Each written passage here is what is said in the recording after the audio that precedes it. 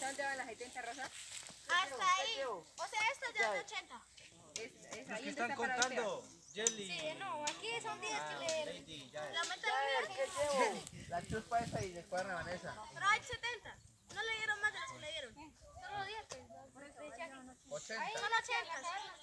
80. Aquí ya es 80. aquí es de 70. ¿Cuánto midió el área? ¿Cuánto midió el área? O sea, aquí es más larga. Creo que son 5 metros. Yo no sé, pero ahí están las medidas. Écheme otro, écheme otros 10. Eso es otra vez. Pero este, este, esto no está cuadrado, este total no está cuadrado, digamos, no tiene lo mismo aquí que allá no te. 80. Eh, Ahí el profesor Diego les ayuda a hacer el, el cálculo, porque es irregular. ¿Sí? Pero, 90. pero es que, o sea, tocaría, mire, por ejemplo, la pedazo, ya nosotros vimos que ya no puede aumentar porque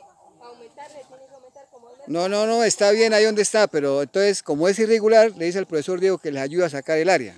Ah, ¿Sí me entiende? ya, ya. Ah, pues. Ah, bueno, entonces mejor todavía.